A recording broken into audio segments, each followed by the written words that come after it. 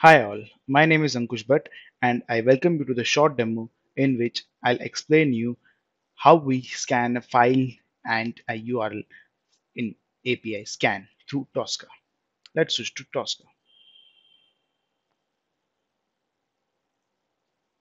Okay, so we'll go to API testing and we'll go to API scan window.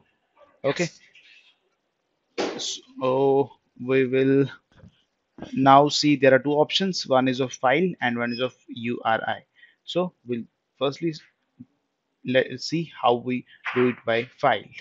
Okay we'll just go click on file and dialog box open up in which I'll scan one WSDL file which is of calculator. So I'll just uh, open that file which is present in my desktop and click on open. So it will now scan this particular file and I'll get the add, divide, multiply, subtract, all these in my one folder, all the messages in my folder of calculator. So now here I can just send the request and in turn I'll get the response. Say for example, I'll send the uh, request of this n1 and n2 addition and I'll send it.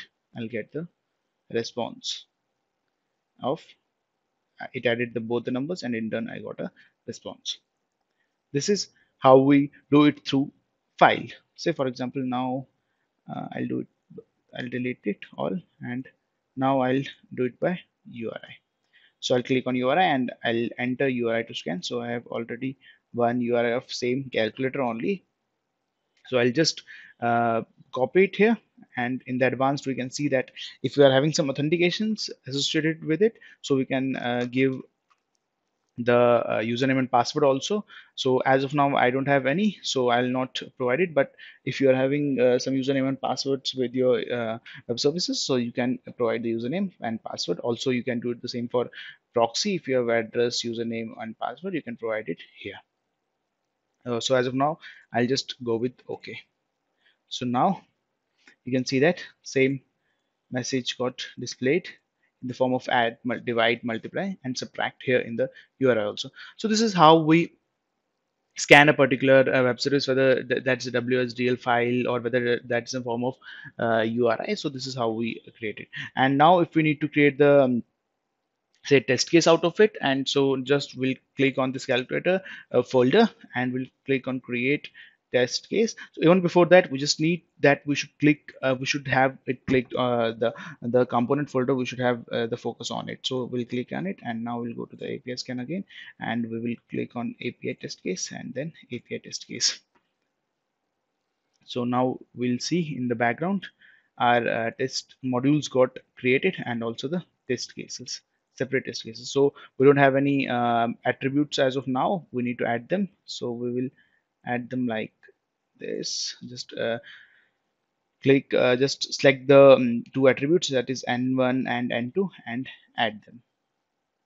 Similarly for response we will get it in the add result so we will select it and add it. So now we have done it for the add. We'll just go to the add um, test case and we'll see the attributes got added up here. So let's try some other thing. Five seven it should be 1 uh, 5 and 7 12 okay. Now we'll try this way because the addition of that complex number was getting uh, too big number. So now here it has verified it. Yeah it has verified it and verification has been successful so this is how we uh, scan uh, make a more uh, test cases out of the api scan. Similarly we can uh, do it for divide also by adding the attributes for multiply and subtract also and we'll get the attributes in our test cases and we can run them uh, run the api test cases. So this is how we scan uh, either wsdl file or an xml file or any file or through url thank you